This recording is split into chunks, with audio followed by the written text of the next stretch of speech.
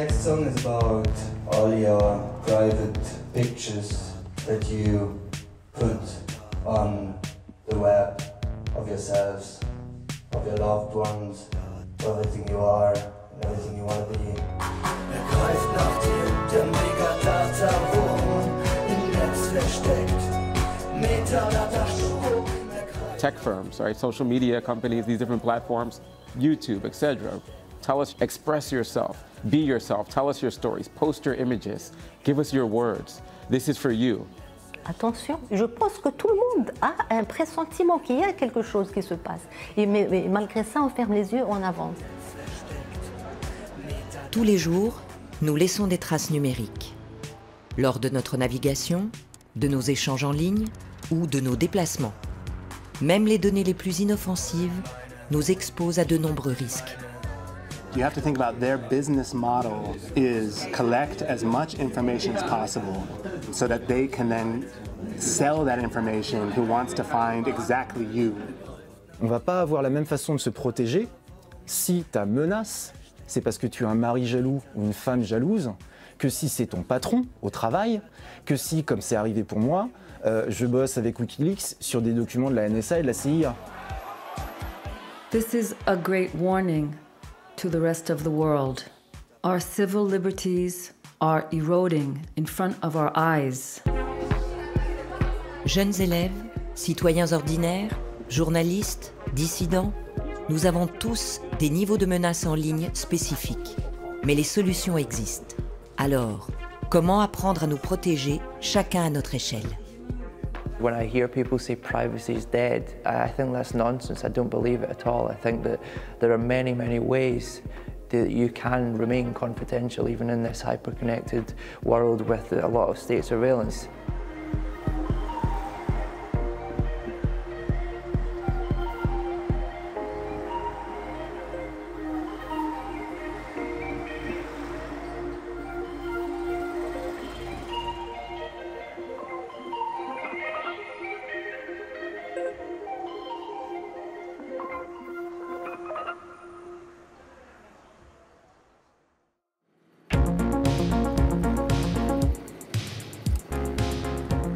Max Thomas est un acteur et musicien qui vit à Berlin.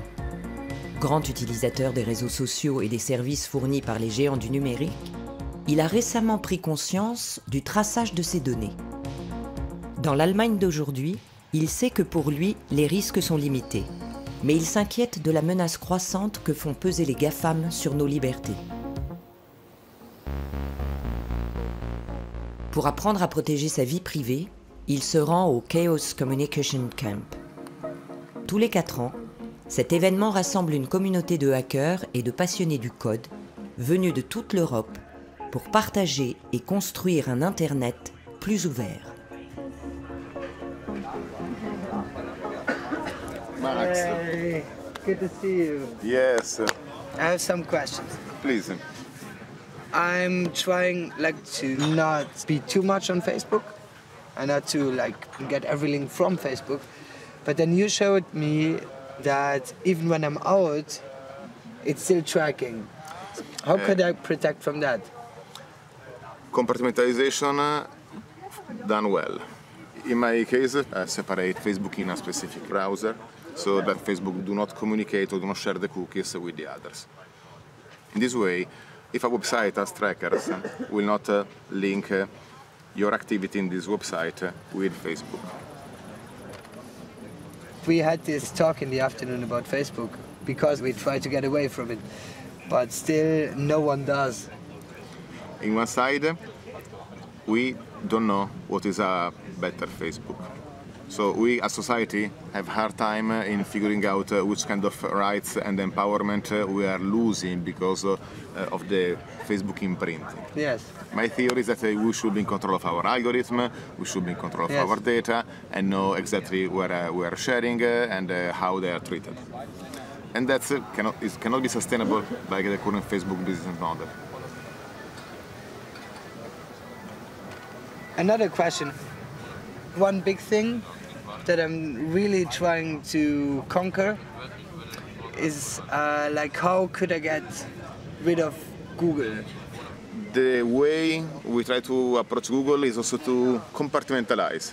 Accept that uh, if you have to um, use one of these tools because you cannot avoid it, at least uh, you can show to them only a small portion of your life and not the entire of your life. Yes. Typically, I would recommend diversifying the tools you use. So rather than relying, for example, on Google for email, for maps, for search, for translation, you can find different privacy conscious tools for each of these needs. I would highly recommend that you start with the apps where you don't rely on anyone, like your browser. If you've been using Google Chrome, you could use Firefox, you could use Chromium, you could use Tor browser. There are so many different ones out there. And after you find a new browser and you try out a new browser, why don't you try a new search engine? You could change, for example, to DuckDuckGo. Some people try some other ones. They try Cirx, they try Quant. There are so many privacy conscious search engines. Also in Berlin, uh, we had uh, some resistance uh, against Google coming uh, to Kreuzberg. You heard about? Yes. And that's uh, raised a lot of attention on how Google was infiltrating in our life. Yes, and that was amazing. Even for Google, I think they never thought that this could happen. En effet, en 2018, Google a dû renoncer à un grand projet de campus à Kreuzberg sous la pression de la rue. Ja, ich glaube deswegen, dass Berlin einigermaßen freie Stadt ist und die durch äh, große Demonstrationen und durch Druck auf die Politik klargemacht hat, dass in Kreuzberg niemand eine riesen Google-Base will.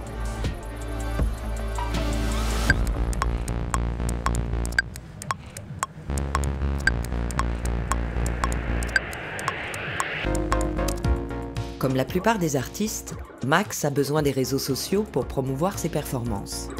Mais il s'y sent de moins en moins à l'aise. Ce matin, il a rendez-vous avec des membres du Reclaim Club Culture. Ce collectif rassemble des acteurs de la vie nocturne berlinoise qui veulent s'organiser de façon indépendante.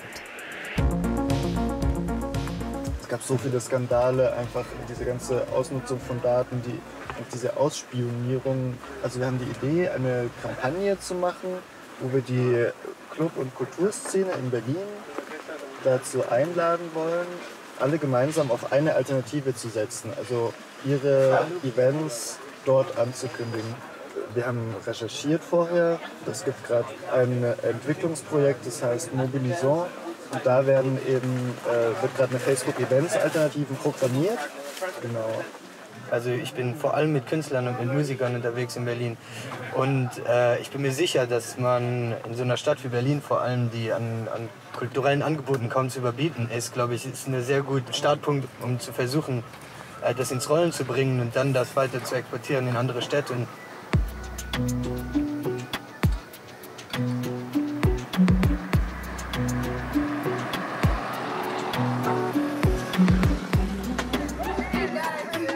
La protection de la vie privée nous concerne tous désormais. En première ligne, les adolescents, grands consommateurs des réseaux sociaux Instagram, Snapchat et TikTok.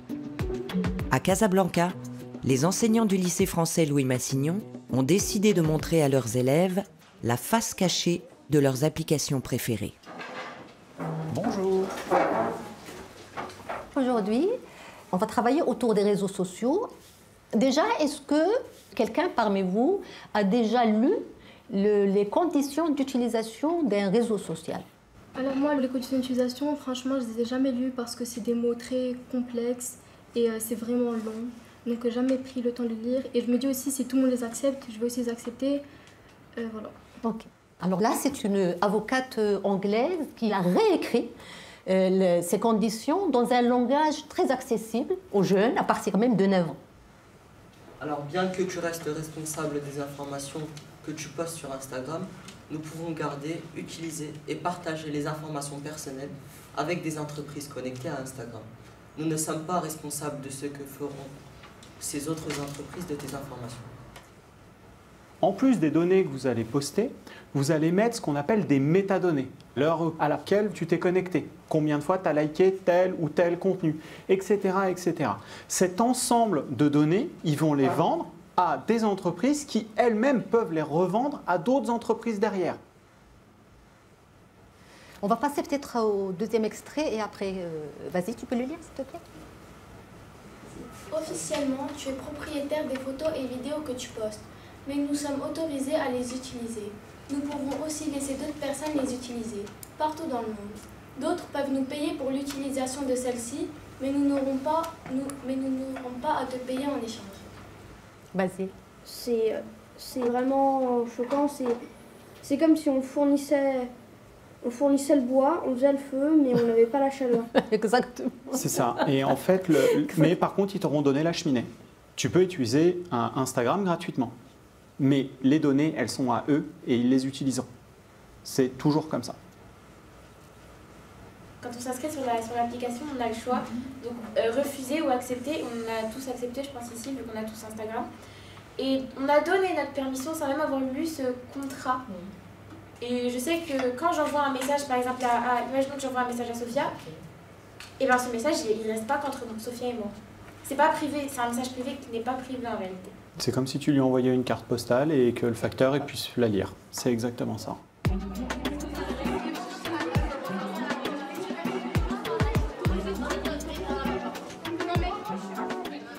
La vie privée des élèves euh, est très importante pour nous parce que si c'est pas nous qui protégeons la vie privée de nos élèves, qui le fera? Les risques qu'ils peuvent encourir sur l'utilisation de leurs données sont vraiment de trois types. On a principalement euh, l'exploitation des données par les GAFAM ou les entreprises qui sont en partenariat avec ces grandes entreprises. On a aussi le risque que leurs données soient utilisées par des hackers qui auraient récupéré un contrôle sur leurs comptes ou sur leurs accès. Et après, on a bien évidemment le risque de euh, l'utilisation des données entre élèves pour euh, réaliser du cyberharcèlement ou autre. Le cyberharcèlement sur les réseaux sociaux est un fléau qui frappe de nombreux jeunes. Pour essayer de prévenir ce phénomène, les enseignants apprennent à leurs élèves à mieux protéger leurs comptes. Lors de la séance précédente, vous vous rappelez, on a joué un peu à, euh, vous allez chercher euh, les failles sur le compte de votre camarade, votre ami. Est-ce que je peux avoir un peu vos retours par rapport à ça, déjà? Euh, moi personnellement j'ai fait l'expérience avec Richa sur son compte Instagram. Et donc déjà son compte Instagram il est privé. Sauf que c'est avec son prénom. Et dans sa bio il y a son âge. Et il y a sa photo de profil, il y a sa tête et elle n'a pas de publication sauf qu'il y a des stories à elle où on voit où est-ce qu'elle voyage, quand elle voyage, etc. Mhm. D'accord. Et donc, tu estimes que son compte, comment euh, Ça va. Ça Il va Il y a, il y a- il y a à faire. Peut mieux faire, d'accord. Hein Mais moi je suis pas le meilleur exemple aussi. D'accord. If you have the time to sit down and look through each of the privacy setting options, there are some really great gems in here. So you can decide who sees your posts. For example, by default, it might be set to public, and you may want to change that and reduce it just to the people that you've accepted to your page. So you can control what users are seeing your information. Here it says, do you want search engines outside of to link to your profile? Yes or no? And by default, it's set as yes. So this is a really great place to secure the options that are important to you. Moi, je poste pas, mais il y a certaines personnes, les gens s'amusent à mettre tout le temps un, le un même emoji, par exemple, je sais pas, un emoji baleine, pour dire comme euh, t'es grosse. T'es grosse, oui. Et donc, euh, on le masque et on peut plus recevoir ses commentaires. C'est ce qu'on appelle le filtre qui permet de Ouais. masquer les mots offensants, ou bien les insultes. C'est une fonctionnalité de quelques réseaux sociaux qui permettent de ne pas recevoir les images euh, euh, donc, euh, les mots d'insulte, quelle que soit la langue. Donc c'est une fonctionnalité qu'il faut vraiment activer euh, au niveau de vos réseaux sociaux.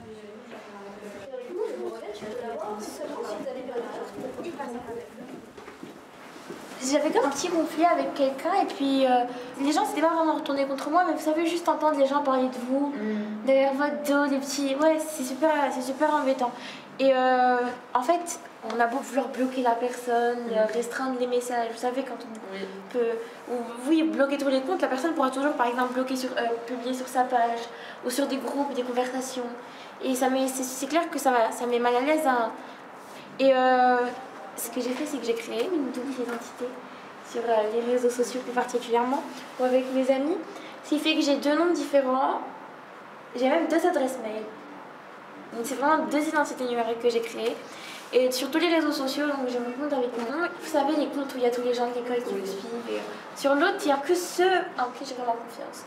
Mais tu dis que tu postes pas beaucoup sur ton compte principal, mais sur ta double identité, tu postes, ça veut dire que tu t'assumes plus sur ta double identité que Ouais. sur ta vraie Oui, identité. oui, c'est ça. Et je suis beaucoup plus à l'aise de poster sur l'autre.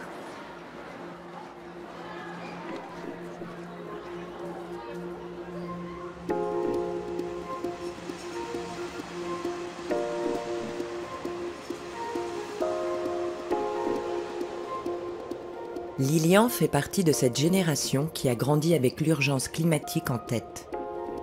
À 19 ans, ce passionné d'informatique est investi dans les collectifs de défense de l'environnement, un public particulièrement ciblé. Aujourd'hui, à la veille d'une action de désobéissance civile, il vient former des militants à sécuriser leurs données et leurs communications. J'ai vu qu'il y avait pas mal de monde qui n'était pas là finalement ce soir. Enfin, pas... Ouais, il y, a- il y a deux personnes qui sont, euh, qui sont désistées au dernier moment là. euh. Donc ça va être assez, euh, assez participatif. On va, demander, on va faire les trois petits groupes et on va demander aux gens ce qu'ils ont déjà prévu de mettre en place le jour J quoi, euh, en, en termes de sécurité. Et après on passe sur la partie euh, mot de passe. Le but ça va vraiment être de leur faire comprendre comment marche un mot de passe. Quoi. Donc on va faire un atelier sur les règles fondamentales de la sécurité informatique quand on fait une action. On va parler des mots de passe, euh, qui sont un peu l'élément euh, fondamental en sécurité informatique. Donc savoir un peu comment ça fonctionne et euh, connaître les différentes attaques auxquelles vous pouvez être vulnérable et comment y remédier. Le gros problème, c'est que souvent les gens réutilisent euh, le même mot de passe pour plusieurs comptes et il se trouve que si un compte est compromis, au final on perd tous ses comptes. J'ai un seul mot de passe que j'ai décliné en trois versions. Enfin, je, je pense que c'est pas ce qu'il faut faire. Moi aussi. La solution, c'est d'utiliser euh, un gestionnaire de mots de passe. Les mots de passe. En moyenne, nous devrions tous en apprendre par cœur entre 70 et 80. Un gestionnaire de mots de passe génère et garde en mémoire des mots de passe complexes, puis les ressaisit automatiquement à chaque connexion. Pour protéger votre gestionnaire de mots de passe, on va vous demander de créer un nouveau mot de passe ultra solide. Alors, on avait pensé un truc, euh, c'est que chacun prenne un livre, euh, choisisse trois ou quatre mots aléatoires dans le livre et se serve de ces quatre mots pour formuler un mot de passe. Ça va être une phrase qui va protéger tous vos autres mots de passe. Donc le but, c'est que ce soit une phrase euh, un petit peu farfelue. Incroyable. Celui-là il est très bien, tu l'oublieras pas. Prenez trois mots vraiment aléatoires. Tournez une page et posez votre doigt, quoi. Il faut que ça ait vraiment aucune logique. Et si on choisit une phrase, c'est parce que faut que ce soit un minimum facile à retenir pour vous. Mais c'est le seul mot de passe que vous aurez à retenir. C'est bon? Ouais. Tu l'as rentré? Ouais. En gros, ça va te permettre de pouvoir stocker tous ces mots de passe hyper longs et hyper compliqués que tu peux mettre pour chacune des applications directement dans ton téléphone. Ok. Et tu fais bien attention qu'il n'y a aucune caméra qui le filme ton mot de passe pendant que tu es en train de discuter. Unknown to many, environmental defenders are the most targeted worldwide, given the whole picture of all activists.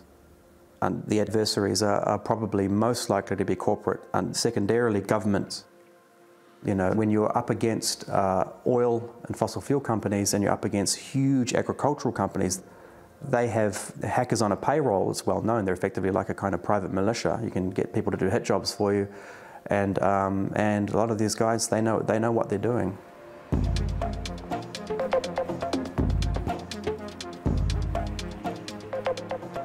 Pour les collectifs ou les associations d'activistes écologistes.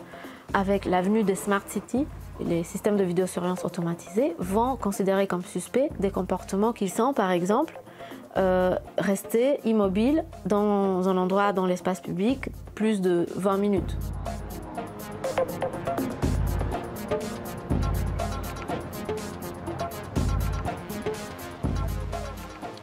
Il y a une recherche active pour prévenir euh, les actions euh, de désobéissance civile.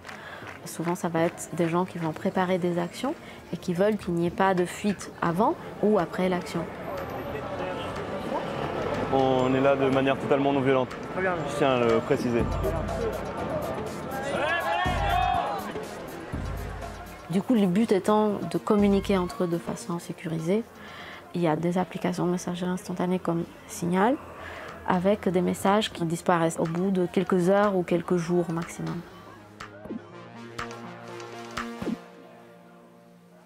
Donc, le réseau téléphonique, c'est assez simple. Euh, vous vous déplacez dans la rue et votre téléphone se connecte à l'antenne la plus proche. Il suffit d'une petite antenne et euh, on peut capter tous les appels téléphoniques euh, à des, dizaines de mètres à la ronde.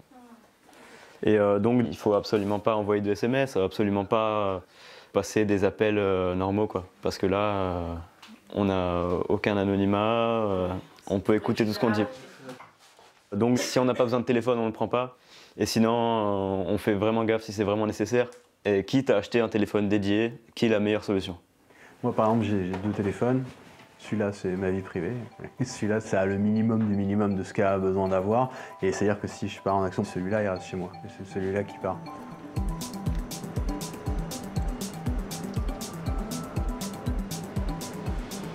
Si on enlevait les plus 7 degrés maintenant qui sont prévus en 2100, on est confronté à un autre problème qui est l'extinction massive de la biodiversité du monde vivant. On va voir juste le plus important pour l'action de demain parce qu'on peut très facilement euh, mettre en danger tout son groupe et toutes les personnes qui nous entourent. La première règle, c'est que si vous n'avez pas besoin de votre téléphone, vous ne le prenez pas demain.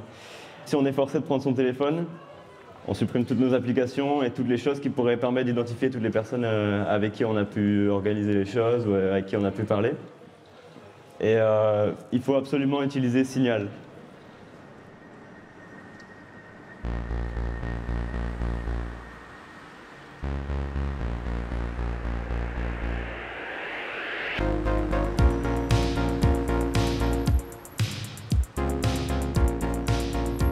De son côté, Max explore la piste Mobilisons, cette alternative à Facebook Events qui doit bientôt voir le jour.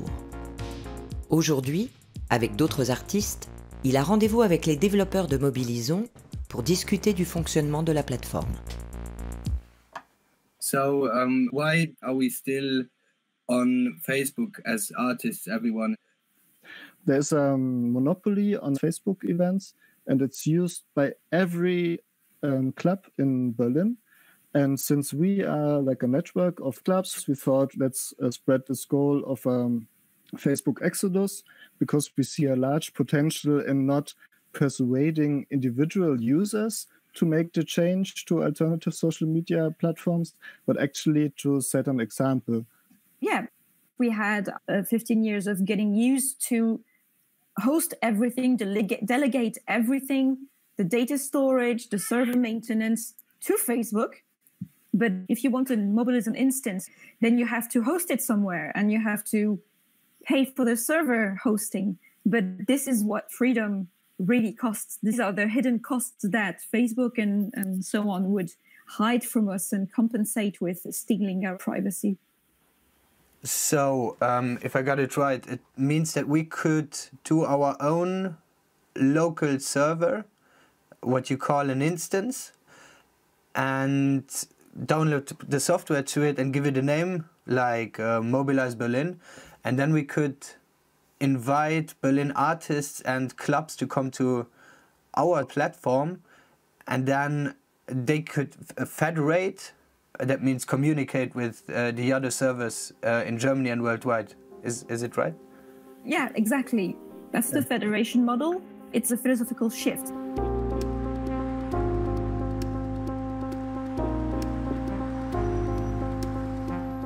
La plateforme fédérée la plus connue est le réseau social Mastodon. Depuis sa création en 2016, plusieurs millions d'utilisateurs ont choisi de migrer de Twitter vers cette alternative libre. Federation means that there is not a single authority that is in control of the whole network. It means that there's multiple authorities. If you're familiar with email, email is another federated network. Um, you have servers like Hotmail, Outlook, uh, Yahoo, Gmail. You sign up somewhere, you get an email address that starts with your username and ends with the server you're on. And that system allows you to email anyone on any email server just by using that address. So federation is um, a method by which uh, these authorities are spread out, as opposed to, for example, Twitter or Facebook, where they have, well, I'm, I'm going to say one server and millions of users. On Mastodon, because it's decentralized, uh, you have a, a, large number of small servers. Each is owned and operated by different individual or organization, and you get the ability to follow or interact with anyone who's on any other server as well.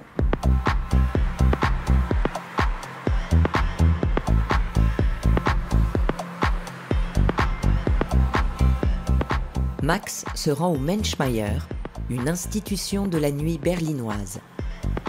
Ce club a longtemps refusé d'utiliser Facebook, mais a dû s'y résoudre pour attirer plus de monde. Ce serait un candidat idéal pour se lancer dans l'aventure Mobilisons. Well, we think that it could be possible to get people away from Facebook, or at least try that in the underground of Berlin's music scene or art scene, that a lot of people use a different tool. The hope is there. Let's see how far we can go with that. Yeah. Menschmeier is a club that is very political, and one of the things that was very important for you was not to use Facebook as a promotion platform for your events. So why was that in the beginning? Facebook started generating sites for us that we didn't want. And of course, there's a little line where it says unofficial page. Mm -hmm. uh, what I did, I started claiming them. And at first, uh, it was enough to give them our phone number. But at one point, uh, Facebook it wasn't enough to like have our phone number, and uh, they wanted uh, the bills for the water and the energy of this place to prove that we are actually this place. What? And uh, they, it's like they wanted more of our data. So, do you think there is a possibility for a Facebook exodus, so to say, to get really a big community to use an alternative? that could be a possibility with this mobilizing that, that we that we try to build there. Yeah. So, should I perhaps explain a little bit um, yeah. the, some of the concepts? Um, so the the Fediverse is a um, open protocol for communication across services. So Mobilizon is uh, an event management service which is uh, part of this Fediverse. And within the Fediverse, you also have other services, a very popular one, Mastodon, which is a, a, a Twitter alternative. Um, you have PeerTube, which is a YouTube alternative.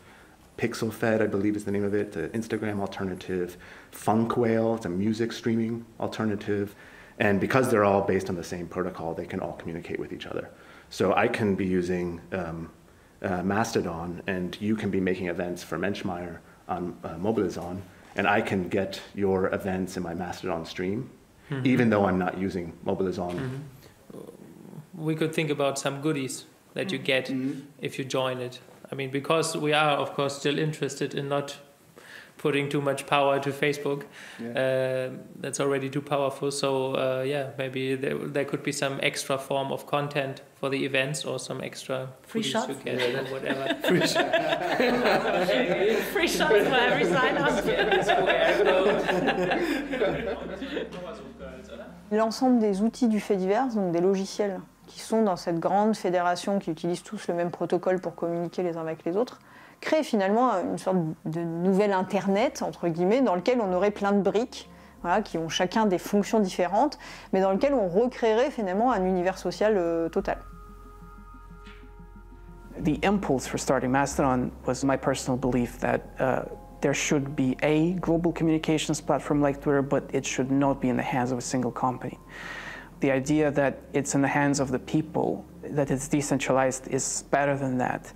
Um, it's, it's more local. It is a, a noticed fact that Mastodon is a friendlier platform than others. You are part of this global network of Mastodon, but you also have like this special view towards your neighbors, the people who are on the same server as you. So you get this community feeling from that as well.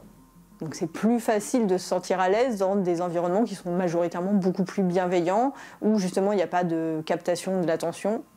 Parce que même si on ne s'en rend pas compte, au final ça impacte forcément euh, notre façon de nous comporter. Euh, et donc fait que effectivement c'est quand même vraiment des espaces beaucoup plus sains.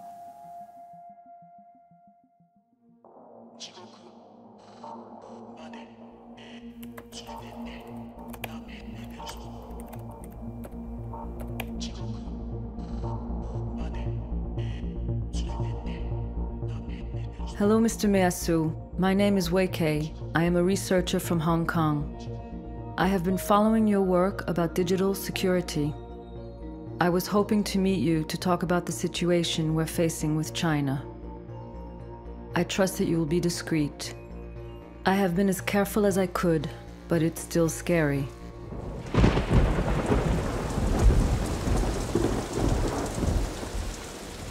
Comme des milliers de Hongkongais, Wei Kei pensait ne courir aucun risque en ligne. Mais la révolution des parapluies, ce mouvement de résistance contre la Chine, a tout changé. Désormais, les services chinois peuvent surveiller les communications de tous les citoyens de Hong Kong. So, tell me more. How is the situation in Hong Kong? Um, it's getting worse and worse. You know, the police are getting more and more violent. The conversation has broken down completely, and we are very worried. And do you have some kind of a plan? I think the first step for me would be to learn how to secure myself, and then I will be able to reach out to other people. I'm actually thinking about a campaign for the general public, and I wonder if you would have any contacts of people that I can speak to.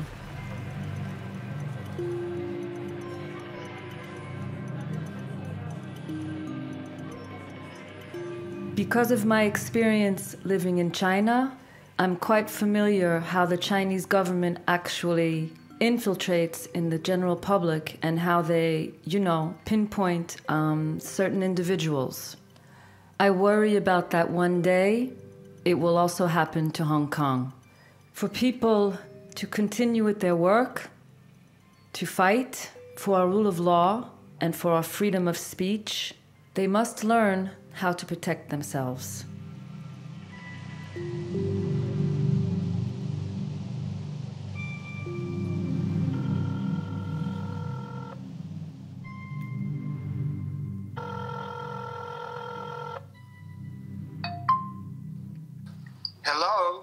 Hello, hello, this is Wei Kei. So, what sort of occupation are you involved with?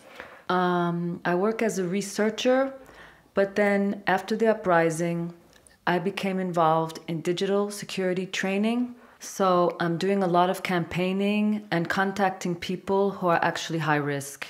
And so now you- you're back to, to learn a little bit more about threat models. Yeah, threat modeling is something quite new to me. Okay, and it will help determine your risk. There are five questions that you can ask yourself. The First question What is it that you want to keep private? Hmm. Second question is related. threat modeling. This is getting through the process of thinking who is that I need to protect from? What is that I need to safe keep? And what is the kind of the worst case scenario? And you start realizing, well, okay, my adversary is this. What is what I think this adversary is capable of? Is it capable of doing of wiretapping my internet communications or not? Is it capable of you know getting data out of providers that I use or not? Is it capable of hacking or not? The adversaries that I'm facing are actually state actors. So they do have the financial means and technical power. I think my risk would be um, exposing my contacts. That's my deepest worry. The worst scenario for me would be I get caught. I would be subject to interrogation, and in the worst scenario, torture. These things are all too common in mainland China.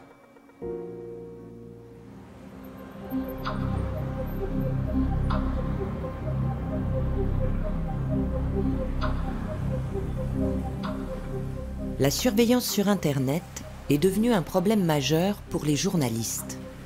En les contactant, leurs sources risquent de laisser des traces en ligne qui pourraient ensuite servir à les identifier et les poursuivre. Pour répondre à cette problématique, Julian Assange a cofondé en 2006 Wikileaks. Cette plateforme sécurisée permet aux lanceurs d'alerte de transmettre des documents sensibles en préservant leur anonymat. Wikileaks a notamment fait connaître au grand public les exactions commises par l'armée américaine en Irak et en Afghanistan. This might be the one here. It's got windows in the side. That is the prison van, but I don't know if he's coming here. It could be him. Devenu l'homme à abattre du gouvernement américain, Julian Assange est depuis 2011 sous la menace d'une extradition aux États-Unis, où il risque désormais 175 ans de prison.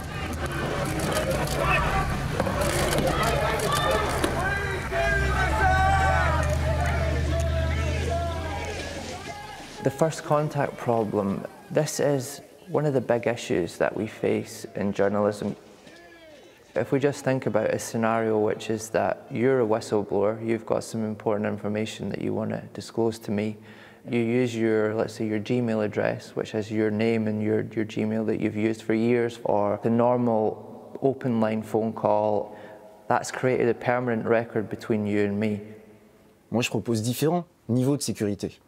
Donc quelqu'un qui ne risque rien à me contacter, bah, il me contacte euh, sur Twitter, sur Facebook, par mail, euh, voilà. Il n'y a pas de...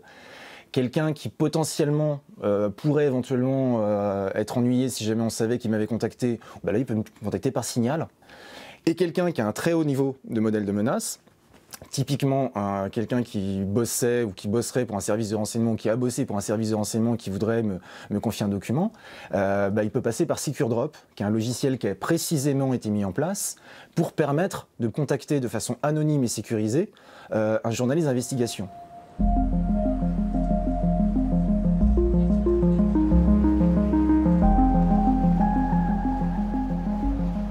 War der Reporter, der für den Spiegel damals zusammen mit der New York Times und The Guardian in dieser Bunkerraum in der Guardian zusammengesessen hat und eigentlich die erste afghanische Warlogs da gemacht hat damals.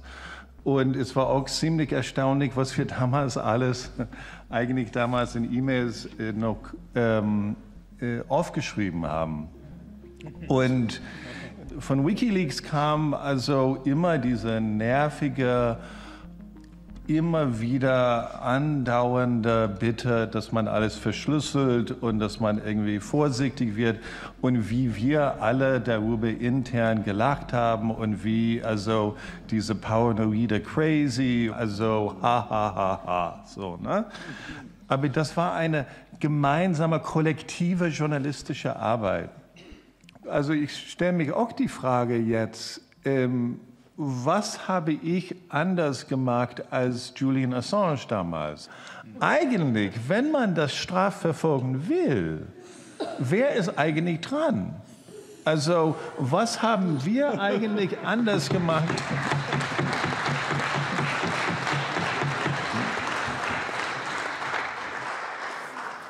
If you're a whistleblower, first of all, what you need to be careful with um, and, and, be very mindful of is how you try to record the information that you're seeing. Because if you just plug in a flash drive or USB or whatever it is and try to copy it or whatever, that immediately is a red flag because the, the company has probably got a system that monitors who's removing information from its systems. Most of the big companies do now. Uh, they call it insider threat technology. Si on est en possession de documents qui peuvent être compromettants et qui sont des documents d'intérêt public, mais qu'on ne sait pas trop comment s'y prendre, euh, aujourd'hui, euh, ce qu'il faut en premier lieu, c'est identifier le bon interlocuteur. C'est identifier le journaliste qui sera capable de rendre public un document en minimisant au maximum le risque. What I would usually suggest is that is that the person, uh, if they can get a, buy a cheap new laptop, like a little notebook or something like that, go to a cafe, a, a public Wi-Fi network, um, download the Tor browser, connect to the secure drop page. Uh, then uh, you can make contact with us through that by sending a message, and from there we could probably take next steps to try and uh, figure out, you know, what is, uh, what, how we could get further information from you without compromising your uh, security and safety.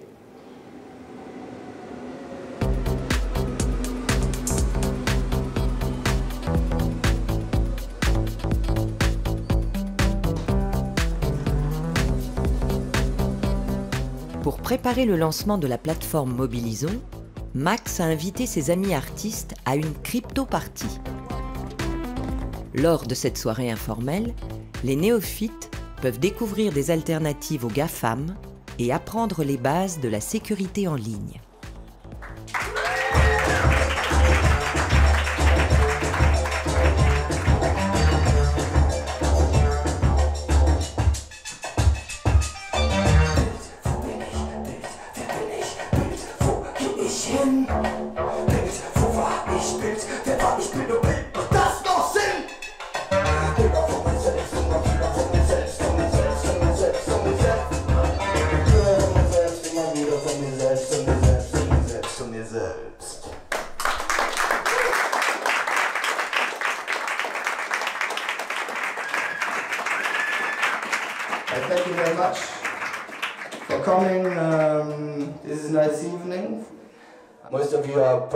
Not that deep into the topic, so it's nice to find out a bit more about uh, what internet privacy is, because I think it's a very uh, important topic that we all should face in these times.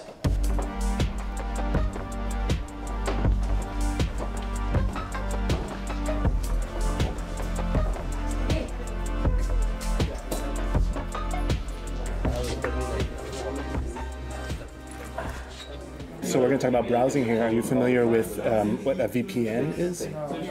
Yeah? A VPN, a virtual private network? No? Many people use VPNs for privacy reasons by um, connecting to a, a VPN and then going into the internet from the VPN.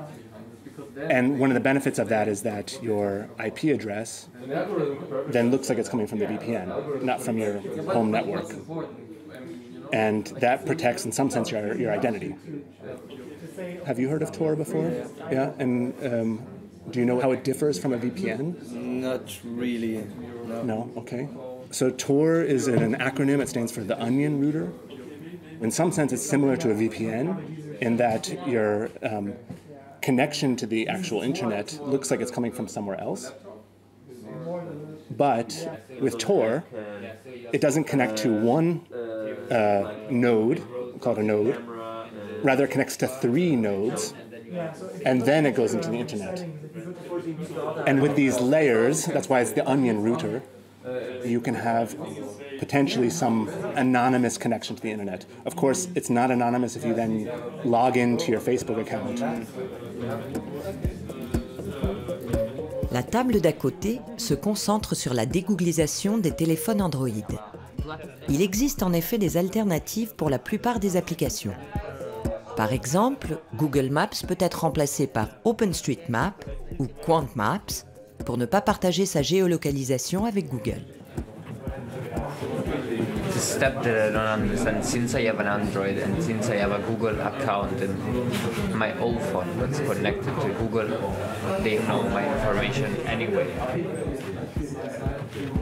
En effet, n'envoyer aucune donnée à Google nécessite une opération plus complexe. Il faut remplacer entièrement le système d'exploitation Android par un système d'exploitation comme Lineage, libre et open source. In general, Crypto Party uh, recommends free and open source. You've never heard this term before? Once again, Free and open source? free open source. Free and open source. Basically, it belongs to all of us. So it's it's the source code is available for other people to take, to use, to modify, to share with other people. It's maximally transparent.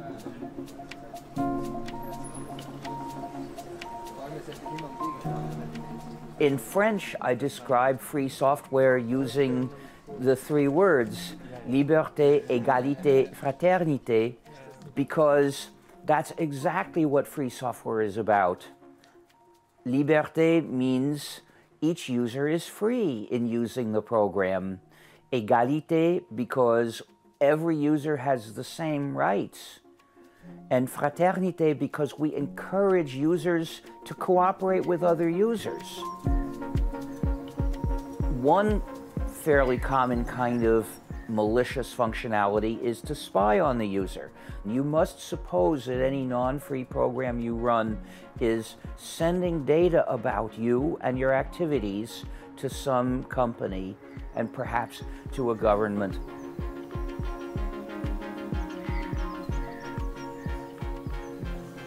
I work with marginalized communities. You know, in America, you're gonna find young people in the inner city who are told by tech firms, right, social media companies, these different platforms, express yourself, be yourself, tell us your stories, post your images, give us your words. This is for you, you know, YouTube, etc., right? And um, you know, if you go to facebook.com, you see the platform. If you go to facebook.com slash records, you see the law enforcement front door. And um, law enforcement has contracts with companies that aggregate all the data and can like spin it and analyze it and slice it any way that, uh, that they want. And we have these gang conspiracy charges in the United States. And in that, the um, police, they just need um, circumstantial evidence to tie you to criminal activity, and most of it is through a network effect. So, uh, you know, if I post something on social media and you like that thing, if I have your number in my phone, that's enough for uh, you to be, your door's gonna get kicked in in the morning, they're gonna pull you out of bed, and you're gonna get arrested.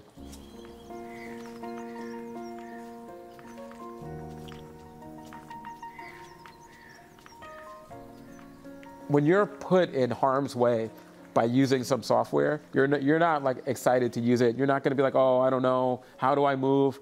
Then I got to get my friends to move, or well, who else is on there? You're like, where do I go? I'm ready to go. So I think like open source is the people software, and eventually like the people will use it because there's no friction there. There's no cost to it you know, they're actually very hungry and they're so excited that there's things now that they could use, the technology now, that makes it so much easier to protect their identity, to protect everything that they hold dear, and to just enjoy everything about who they are and what they are.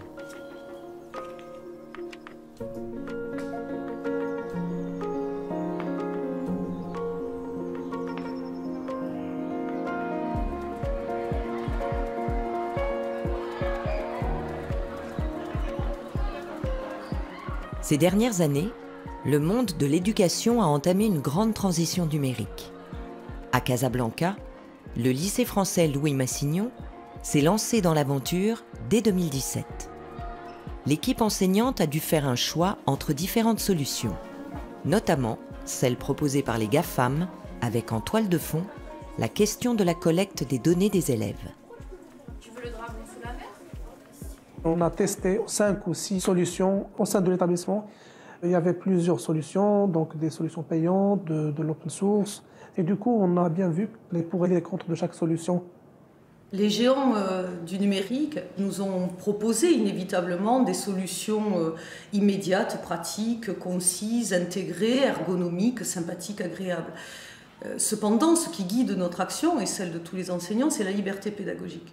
Or, ce que proposaient ces géants du numérique, c'était une solution clé en main. Et une solution clé en main, en général, elle est restrictive. En termes de respect de la vie privée et des données qui sont collectées, on était en adéquation avec le logiciel libre. Et du coup, on a toujours eu tendance à vouloir privilégier les solutions open source plutôt que des solutions propriétaires.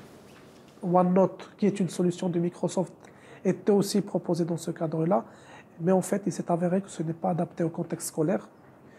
Pour Google Classroom, on s'est vite euh, rendu compte qu'on devait euh, utiliser la messagerie et le, drive de Google pour euh, assurer son cours. Il impose le, le fait d'affecter une adresse email à, à, un élève, chose qui n'est pas, qui n'est pas convenue pour les collégiens et les, les élèves du primaire. Et du coup, les enseignants l'ont rejeté.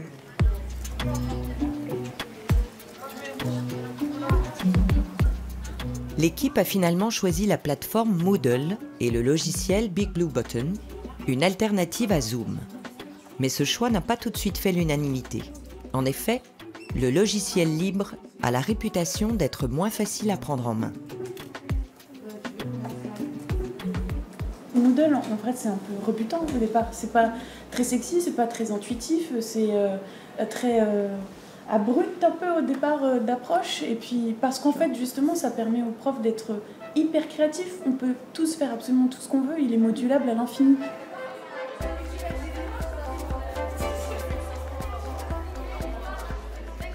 Avec l'informatique, tu peux tout faire, c'est ça qui est, magique.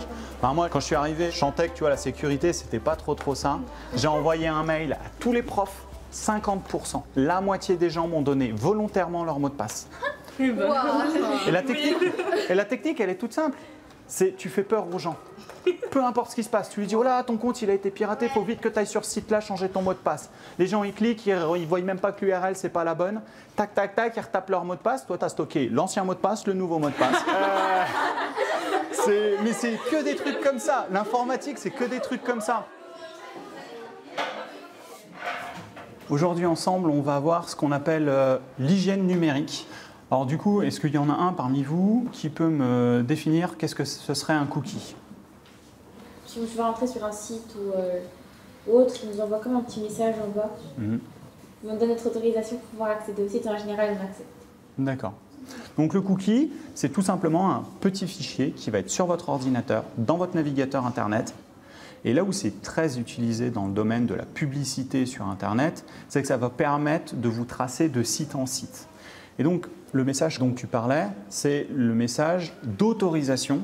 Tu donnes ton consentement à ce que des cookies soient stockés sur ton ordinateur. Et c'est pour ça que, donc, généralement, sur les cookies, les bonnes pratiques en hygiène euh, numérique, c'est d'aller tout de suite dans les paramètres sur ce genre de site et d'aller les décocher.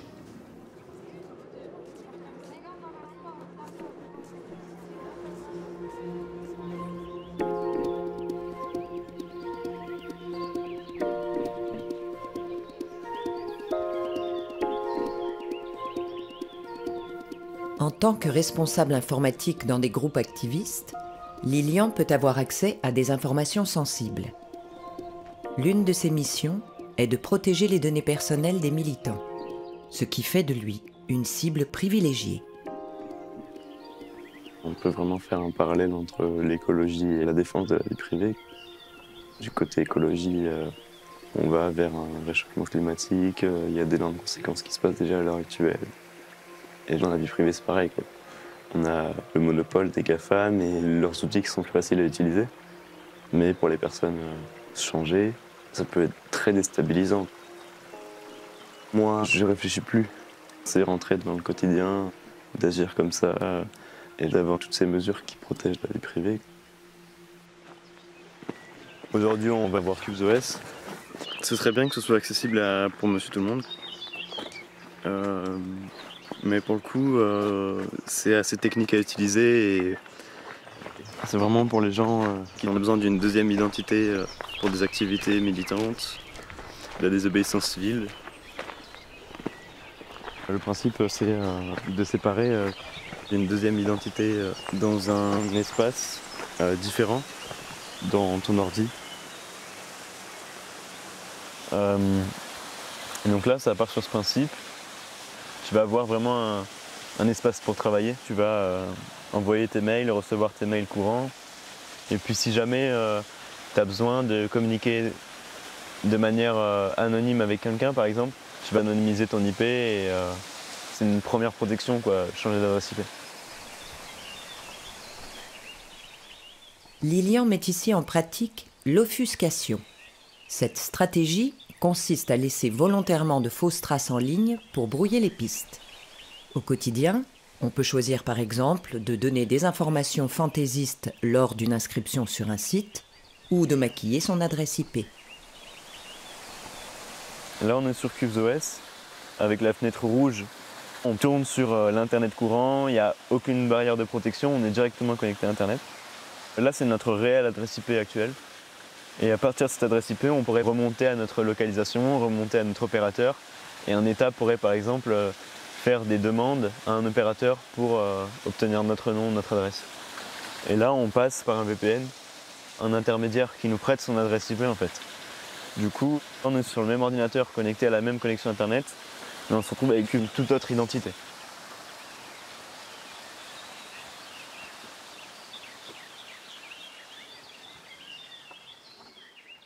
If you have to obfuscate your location or your identity, you need to be careful that you're doing it right. And it's very easy to do mistakes. You look at like hackers prosecutions, you see cases brought against people that have hacked into things. They always get caught because they did that one mistake in obfuscating their identity. It might have been that one time that their VPN wasn't actually running, and then it exposed their IP address their location to the operators and to the authorities.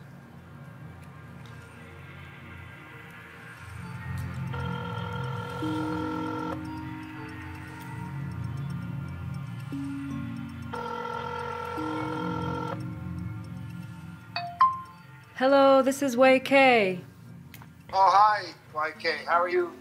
Great, yeah. I think it's very important that I set up an online alias with you because I use um, Twitter and Telegram to contact other activists and politicians to see what kind of um, information they're posting. Okay, so you must keep your online life in two separate compartments. That is, two separate online devices and logins. Get yourself a privacy enhanced uh, email address with, with, say, Proton Mail to, to subscribe to various social media.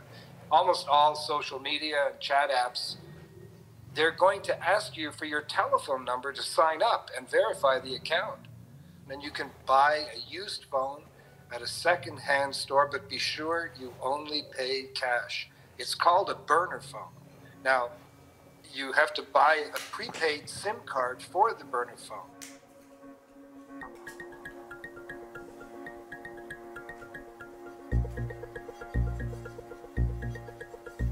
Second, for your online alias, to encrypt your communications, you have to get yourself a VPN.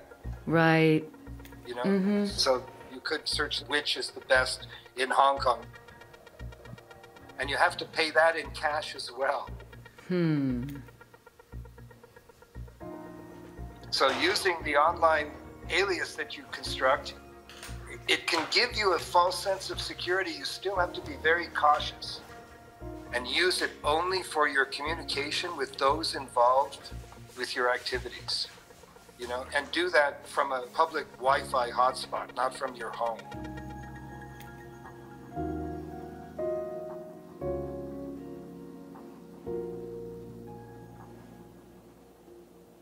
the choice of operating online pseudonymously.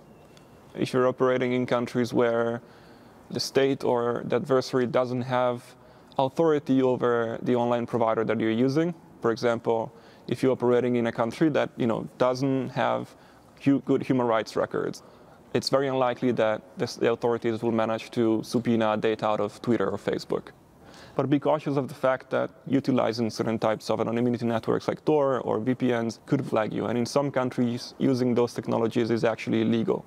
So it could be even a point of attack from a legal point of view.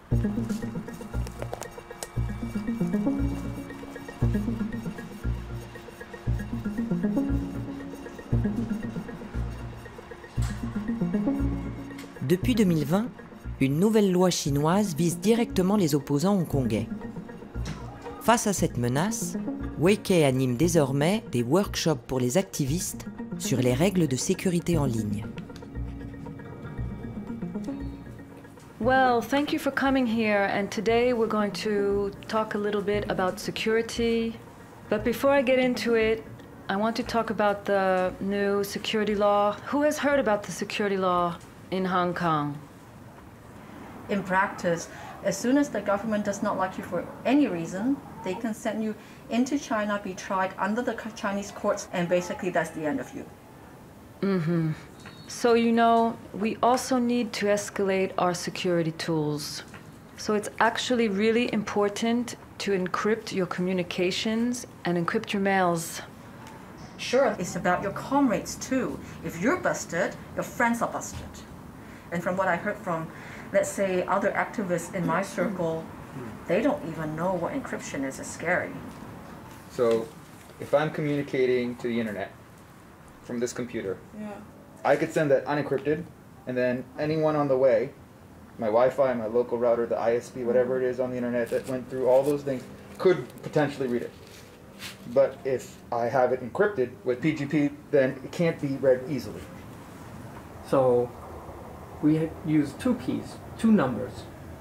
One that is simply messing up my message to you, right? Like crumbling up for the sake of understanding. so if I pass it on, all uh, people here in between can only pass it on. They can. yeah. And when you receive that, you have your secret key, the other number, to decrypt it. It's like an opener, a key that opens, and this is where we have to learn how to do this.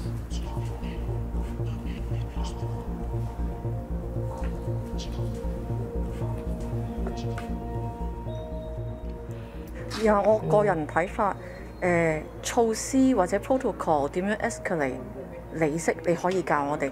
最重要係啲人肯做，同埋肯合作。呢、個係可能係一個心理上一個障礙。當啲係啊人克服到呢個障礙，咁我覺得其實誒、大家係做得到嘅。係啊，因為其實佢你永遠都唔可以睇遲咯，你幾時起步都得㗎。呢啲人咧，諗起步佢都可能覺得已經睇遲咯， 我俾人盯住咗啦。其实冇一定啊。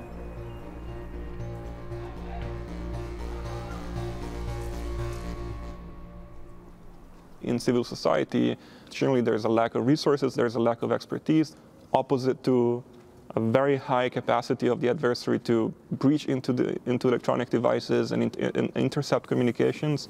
And then you need to start thinking away from the strict digital security aspect and start thinking more about the operational security. When you think about operational security, you think more about your, changing your own behavior in order to mitigate the damage.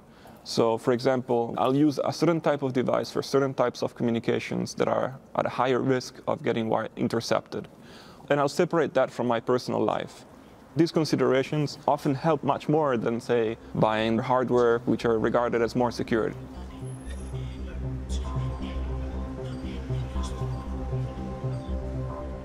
Une erreur de sécurité opérationnelle, c'est ce qui aurait pu coûter la vie à Delshad Othman. Comme Waikei, ce Syrien sans histoire a vu la situation politique de son pays changer brutalement. Comme elle, il s'est opposé à un régime autoritaire aux capacités illimitées. At the beginning, I was this person who only believed, not only believed, but who, who was confident that actually digital security or these tools can be enough to help you to protect yourself. And my focus was on teaching these tools, how to use it. Click here, open here, and install this tool. But then something happened to me when I, I had to leave the country because an operational security mistake by a Western journalist, and my information was revealed to the Syrian government. At that time, it was so important for Syrian activists to talk to Western journalists so they can tell the world what's going on in the country. So The Syrian Electronic Army start targeting known um, Western journalists.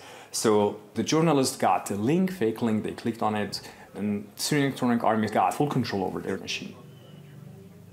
Uh, so at that time, a lot of people got caught because um, because it, it's easy, and the Syrian government had the capabilities of analyzing internet traffic and identifying users and arrest them.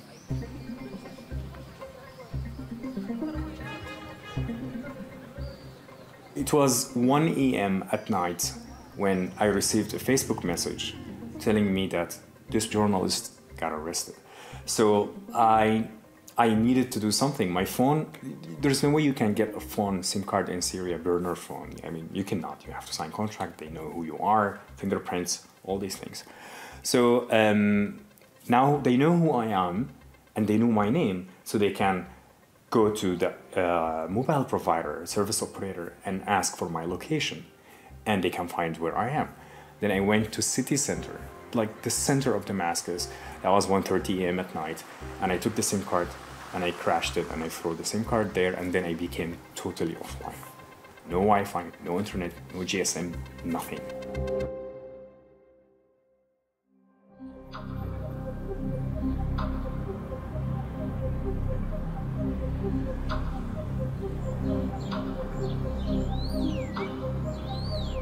À Londres, s'ouvre le procès en extradition de Julian Assange.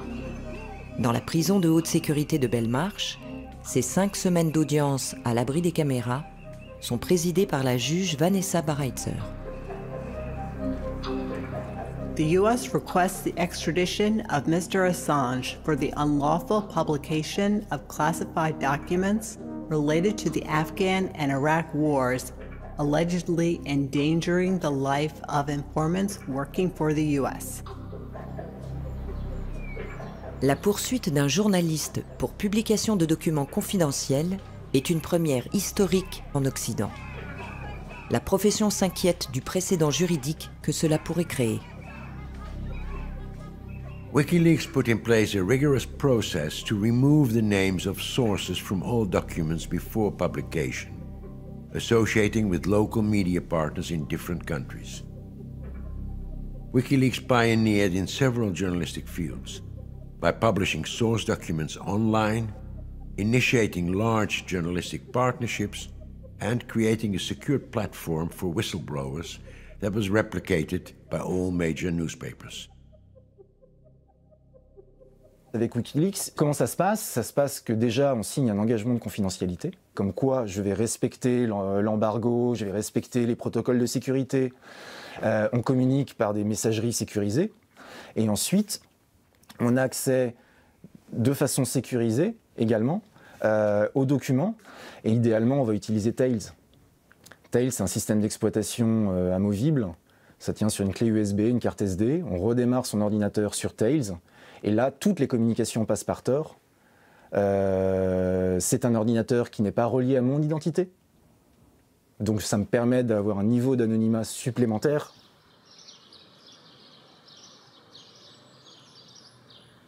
When the threat model is as extreme as it can be, we usually try and work in a, what we would call an air-gapped environment, which is to have computers that have never and will never connect to the internet. And we will only open certain encrypted communications on those air-gapped machines in New York. And the Intercepts office. They built a, a secure compartmented facility where it's almost like um, Alcatraz, you know, it's like there's metal through the walls and it, so it blocks all signals coming in. Avec Wikileaks, là, mon modèle de menace, c'était le plus élevé que j'ai jamais eu. Ça a duré une semaine, parce qu'après les documents étaient rendus publics, donc euh, bon, il n'y avait plus matière à essayer de rentrer dans mon ordinateur. Mais quand on bosse sur des documents de la NSA ou de la CIA, c'est les meilleurs au monde en matière d'interception des télécommunications. Avant son arrestation en avril 2019, Julian Assange a vécu pendant sept ans réfugié dans l'ambassade d'Équateur à Londres. Traqué 24 heures sur 24, il est devenu le journaliste le plus surveillé de la planète. I was employed by a private security firm working for the Ecuadorian embassy. In 2015, our chief declared that we were now working in the Premier League for American friends.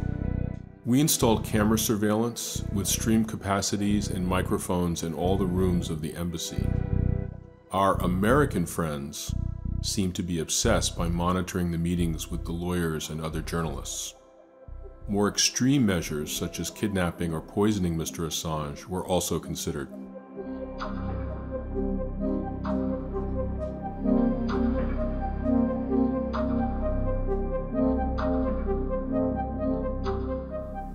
Well, the embassy, having Julian inside, became probably the most surveilled place in the world. In what we could describe as a Big Brother experiment, where the only person who could never leave the place was him, where every single corner of the embassy was recorded. They put a special, very sensitive hearing device under the bottom of the fire extinguisher and in the ladies' toilet behind the towel rail because Julian and the lawyers used to meet in the ladies' toilet because they thought that it wasn't bugged. So uh, we would write notes to each other. And of course, when you passed the note to each other, you had to ensure that you turned it over so that the camera couldn't see what was written on it.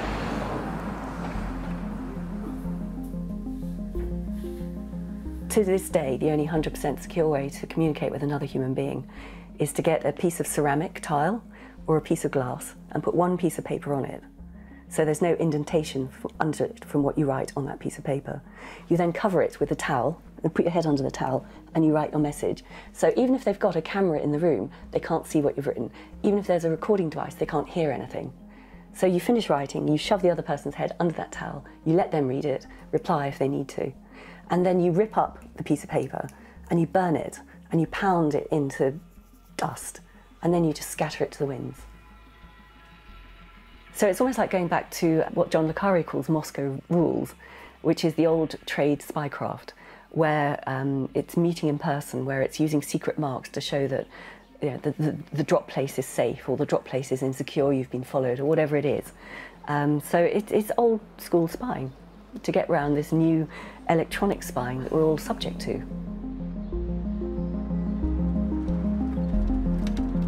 Lors de sa création, Internet était la promesse d'un nouvel espace de liberté. Mais aujourd'hui, il est surtout contrôlé par des grandes entreprises et des États. Pour préserver notre vie privée, nous sommes obligés d'apprendre à nous protéger par nous-mêmes. The problem is that no major political force has managed to articulate a vision for what this digital world might look like were it not run by these uh, rather unimaginative firms who can only think of selling advertising. The madness is at the level of how we've organized the entire system, where we cannot conceive of infrastructures that might have a different political economy, right? That you know, data might be owned by citizens together and not by the firms that offer us infrastructures, right? And it's those kind of questions that I think are missing from the debate. C'est désormais vers Bruxelles que se portent les regards. En effet, l'Union européenne est l'institution qui a montré la plus grande volonté de remettre de l'ordre dans le Far West des données personnelles. Wenn wir da die Kräfte bündeln, als europäische Ebene zusammen mit den Mitgliedstaaten, dann können wir tatsächlich einen neuen globalen Standard setzen. Gerade die Datenschutzgrundverordnung hat ja in der Frage von Tracking, von Verfolgung durch Cookies einen auch international Meilenstein gesetzt. Aber am Ende des Tages glaube ich auch, wenn es anders nicht geht, dann müssen wir große Konzerne zerschlagen. Auf dem Weg dahin gibt es aber natürlich auch andere Lösungen. Wenn wir den Wettbewerb stärken, wenn wir neue Unternehmen unterstützen, sich datenfreundlich ein Geschäftsmodell aufzubauen.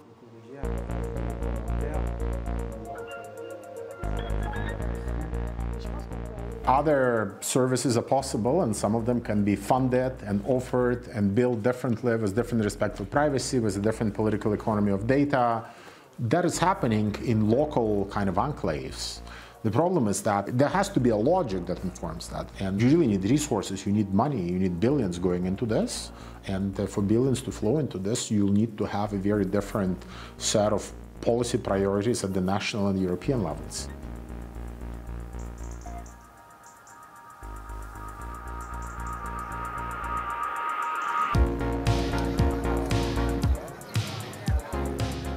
C'est le jour J pour Max et ses partenaires.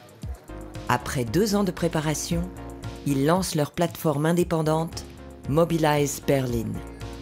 Désormais connectée à des milliers d'autres plateformes, elle apporte une nouvelle pierre à l'édifice de l'Internet libre. Heute sind wir eigentlich hier, um Mobilizer zu feiern und diese Webseite zu starten. Deswegen laden wir euch ein, das ist die Plattform ist online, hat mega coole Features, ist verbunden zum Fediverse, was die Zukunft der sozialen Medien Open Source und frei und dezentral ist. Genau, meldet euch an.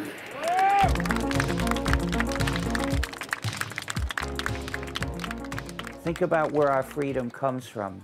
The only reason we have any freedom is because of people in the past who have been willing to make some practical sacrifices for their freedom.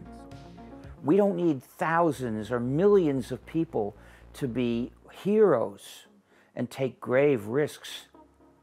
We just need thousands, maybe millions of people to suffer a little inconvenience. But it all depends on saying no. If you occasionally say, no, I won't do that because it would mean giving up some of my freedom, you'll be advancing the campaign to win back our freedom in the digital domain.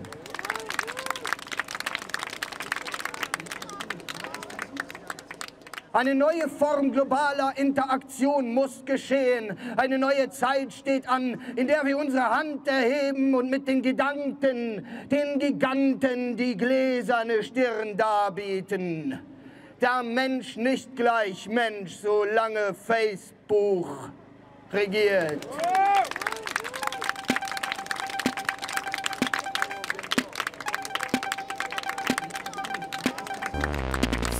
Jobs, Bezos, Zeitgeist, Superhelden, Elon Musk und Microsoft.